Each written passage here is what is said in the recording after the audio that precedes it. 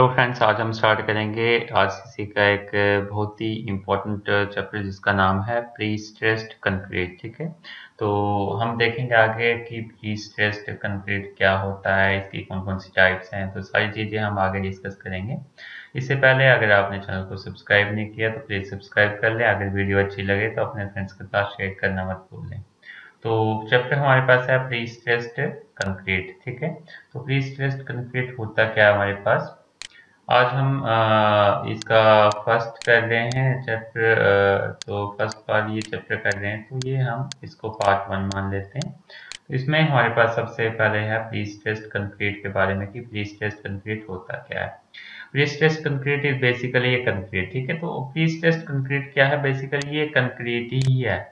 In which internal stress of suitable magnitude and distribution are induced so that the stresses resulting from the external load are contracted to a desired degree ठीक है तो मतलब एक ऐसा concrete है ये इसमें इंटरनल स्ट्रेसेस जितनी हमारे पास जो इंटरनल स्ट्रेसेस होती हैं और जो हमारे पास उनकी इस स्ट्रेसेस का जो डिस्ट्रीब्यूशन होता है, वो उसमें इंड्यूस किया जाता है। मतलब इंटरनल स्ट्रेसेस इसमें इंड्यूस की जाती हैं, ठीक है? इंड्यूस करने का मतलब होता है इंटरनल स्ट्रेसेस उसमें डाली जाती हैं।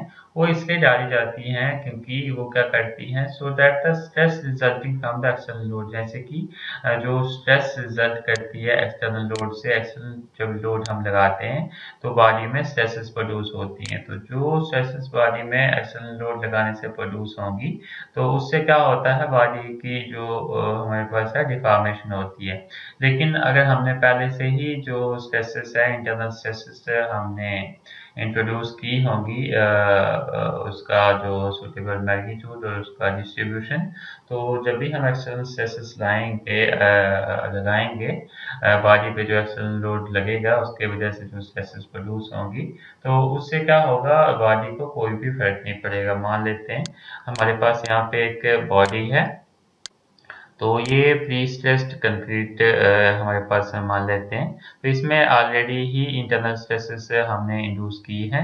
मान लो जैसे ही इस पे लोड बढ़ता है, मान लो यहाँ से फोर्स लगी, यहाँ से फोर्स लगी, ठीक है, ये फोर्स है और ये भी यहाँ से फोर्स है, ठीक है। तो ये फोर्स जैसे ही यहाँ पे लगेगी तो फोर्स लगने क्या, से क्या होगा? स्ट्रेसेस इंड्यूस होगी फोर्स लगने से।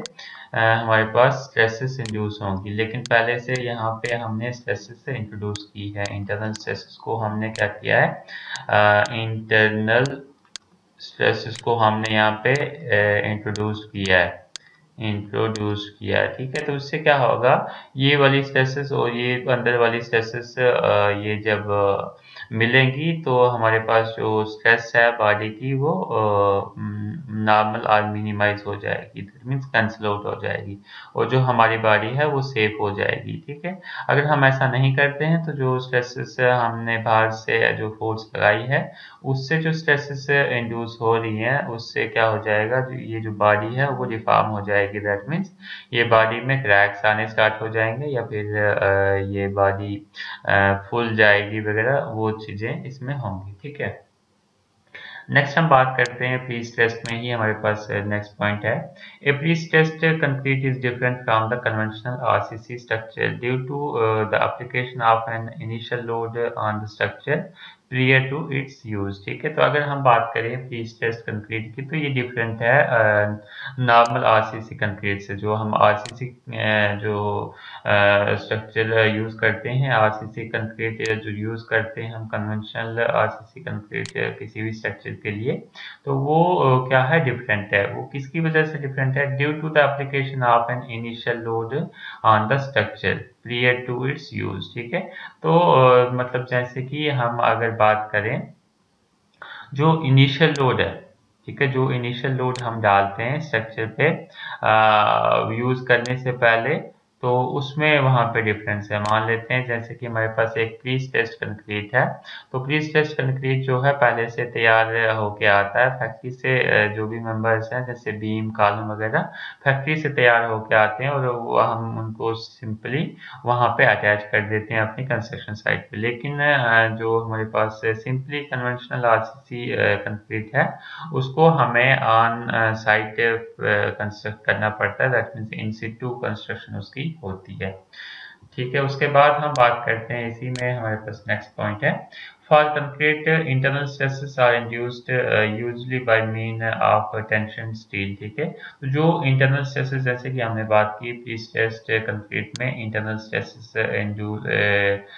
इंड्यूस्ड होती हैं वो किसकी वजह से होती हैं by the mean of tension steel tension steel जो होती है उसकी वजह से due to the following reason कुछ ये following reason है उसकी वजह से internal stresses इंड्यूस होती हैं तो फ़र्स्ट हम बात करते हैं tensile strength of concrete is less and Hence, cracks may early stages of loading in structural members such as beams and slab. ठीक है तो अगर हम बात करते हैं टेंसाइल स्ट्रेंथ कंक्रीट की तो वो क्या होती है? लेस होती है, ठीक है?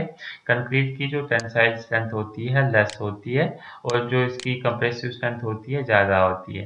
एंड हैंस क्रैक्स में डेवलप तो उसकी वजह से क्या होता है? क्रैक्स हमारे पास डेवलप होते हैं, ठीक है? क्रैक्स क्या होते हैं? डेवलप हो जाते हैं। क्रैक्स में develop at the early stage early stage मतलब जल्दी ही क्रैक्स डेवलप हो जाते हैं लोड हम जब देते हैं, जल्दी ही क्रैक्स डेवलप हो जाते हैं। किसमें? टेंशन टेंसाइल स्ट्रेंथ इसकी कम होती है टेंशन जोन में क्रैक्स प्रोड्यूस हो जाते हैं।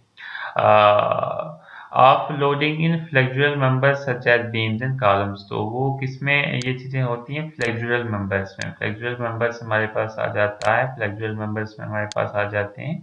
बीम्स आ जाते हैं और स्लैब्स आ जाते हैं फ्लेक्चुरल मेंबर्स ठीक है? तो इनमें जो कंक्रीट की जो टेंसाइल स्ट्रेंथ होती है, बहुत कम होती है, ठीक है? टेंसाइल कम स्ट्रेंथ कम होने की वजह से हमारे पास जो बीम्स हैं या फिर स्लैब्स हैं दैट मीन्स ये जो फ्लेक्चुरल मेंबर्स हैं इनमें क्रैक्स आने स्टार्ट हो जाते हैं। एक बार क्रैक्स आ गए तो जल्दी ही वो बिल्डिंग को भी खराब कर सकते हैं। आई होप आपको सब चीज़ें क्लियर हो गई होंगी। फिर भी आपको कोई भी डाउट हो तो आप कमेंट सेक्शन में पूछ सकते हैं। Hence, if the members are compressed prior to the application of flexural load, the cracking will not occur ठीक है? तो जैसे कि हमने बताया कि जो फ्लेक्चुरल मेंबर्स है जैसे कि हमारे पास बीम और स्लैब जो है फ्लेक्चुरल मेंबर है, पीछे अभी हमने बात की। तो इसमें जो ये मेंबर्स हैं, अगर इनको पहले से ही कंप्रेस किया जाए, ठीक है? If the members are compressed prior मतलब ये जो मेंबर्स है, इनको पहले से ही कंप्रेस किया जाए to the application of flexural load the cracking will not occur तो उसकी वजह से क्या हो जाएगा? जो क्रैकिंग है, वो अक्कर नहीं करेगी। दैट मीन जो हमारा मेंबर है, उसमें क्रैक्स नहीं आएँगे। नेक्स्ट पॉइंट की हम इसमें बात करें। Prestressing enhances the bending shear and original capabilities of the flexural members ठीक है? तो फ्लेक्चुरल मेंबर्स आपको मैंने बता दिए बीम्स और स्लैब है। तो जो प्री स्ट्रेसिंग है वो एनहेंस करती है बेंडिंग को, ठीक है? जो प्री स्ट्रेसिंग है वो एनहेंस करती है। एनहेंस करती है दैट मीन बढ़ाती है किसको? Bending shear and torsional capabilities ठीक है? मतलब जो बेंडिंग है वो भी कम होगी शेयर भी कम होगी और टोर्जन भी कम होगा, ठीक है? उसकी कैपेबिलिटीज को ये बढ़ाती है। उसके बाद हम बात करते हैं नेक्स्ट पॉइंट की।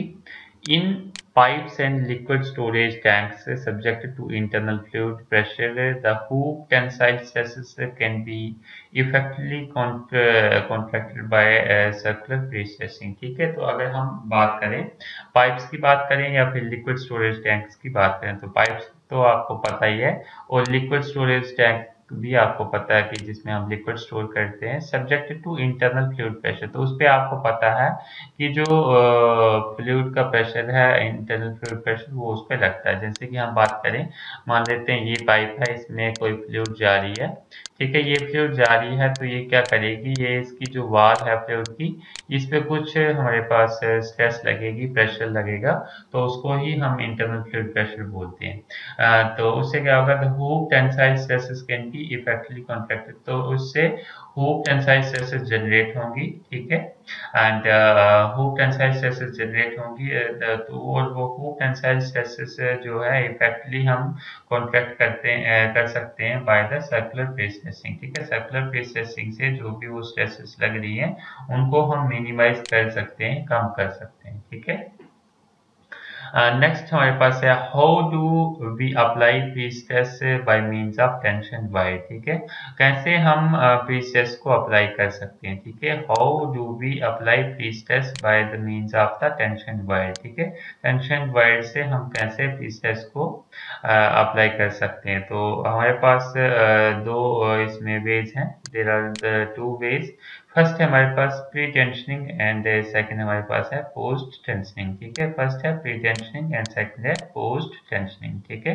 आई होप ये वाला भी आपको uh, चीज़ें क्लियर हो गई होंगी कि हम uh, क्या कहना चाहते हैं। Uh, ठीक है? आई होप सारी चीज़ें आपको क्लियर हो गई होंगी। फिर भी आपको कोई भी डाउट हो तो आप कमेंट सेक्शन में पूछ सकते हैं।